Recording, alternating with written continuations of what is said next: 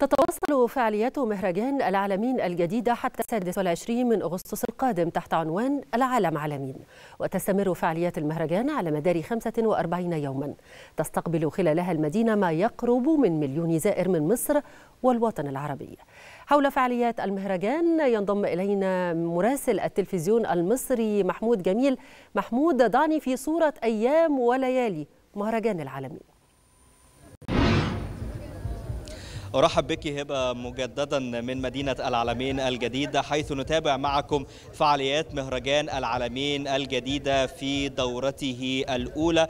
نستطيع أن نرصد الآن ونؤكد أنه اللمسات النهائية قد انتهت من منطقة العالمين أرينا التي ستستضيف الحفل الفني الأول غدا وهو حفل الفنان تامر حسني. نرى الآن من أمامنا هذه المنطقة قد انتهت من تجهيز المسرح وأيضا الانتهاء من أعمال الإنارة وال الإضاءة المختلفة ثم أيضا تنظيم بوابات الدخول والخروج لتنسيق دخول الزائرين غدا في هذا الحفل. أما المشهد الآخر الذي نرصده الآن أيضا ونحن نقف معكم من الممشى السياحي في مدينة العالمين الجديدة. نرصد الآن حركة كبيرة جدا من الزائرين والسائحين في الممشى الآن للتمتع بكل الفعاليات الترفيهية والفنية المختلفة في مدينة العالمين الجديدة حيث أن هذه المنطقة والممشى السياحي تحديدا سيشهد العديد من الفعاليات الفنية والترفيهية خلال فعاليات المهرجان. هذه العطلة الأسبوعية الطويلة سنشهد فيها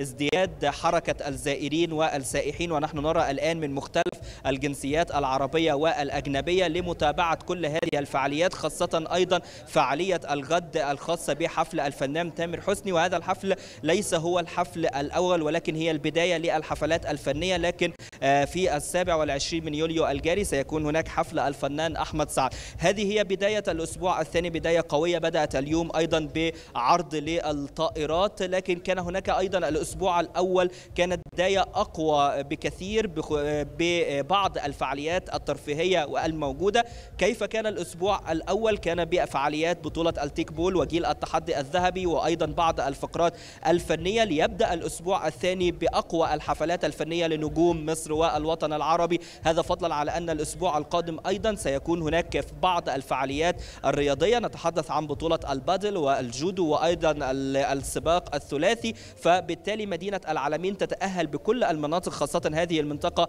التي تشهد يعني منطقة الأبراج وأيضا الفنادق السكنية والممشى السياحي بطول 14 كيلو متر فبالتالي مدينة العالمين الجديدة تتأهل بكل المناطق الموجودة فيها لتستقبل كل الفعاليات الخاصة بمهرجان العالمين الجديدة خاصة هذه الانطلاقة في الأسبوع الثاني ونحن سنشاهد وسنرى أيضا ازدياد حركة السائحين والزائرين لمهرجان العالمين الجديد الذي وضع مدينة العالمين في يعني على خارطة المدن السياحية العالمية الكبرى لتضاهي كل دول العالم السياحية ويقبل عليها سواء المصريين أو حتى العرب أو الأجانب ليتمتعوا بكل الخدمات الترفيهية والفنية نعم. أيضا والطراز المعماري الجميل الموجود في مدينة العالمين ماذا عن أحوال الطقس؟ العالمين أعود إليكم مرة أخرى. أحوال الطقس محمود. نعم. أحوال الطقس يعني جميلة للغاية هنا في مدينة العالمين الجديدة. يعني هناك بعض المحافظات تشهد ارتفاع في درجات الحرارة لكن في الحقيقة هنا في مدينة العالمين درجة الحرارة نتحدث عن يعني 31 أو 32 درجة مئوية لكن حالة الطقس جميلة هنا في مدينة العالمين الجديدة خاصة مع حالة الهواء الطلق الجميل مع طبعا شاطئ البحر المتوسط فسو يعني الزائرين والسائحين هنا في مدينة العالمين الجديدة يشهدون طقسا مختلفا عن باقي محافظات الجمهورية نعم. ويتمتعون بهذا الجو المختلف. يعني حالة طقس جميلة مع أيضا أجواء مبهجة وجميلة من فعاليات مهرجان العالمين الجديدة. فبالتالي هي يعني فعاليات جميلة وأجواء جميلة يعيشها هنا الزائرين والسائحين في مدينة العالمين الجديدة. وأيضا على شاطئ البحر المتوسط على في أمامنا وأيضا على يسارنا البحيرات الصناعية كورنيش البحيرات. فبالتالي هناك عدد كبير من الفعاليات الفنية والترفيهية الترفيهية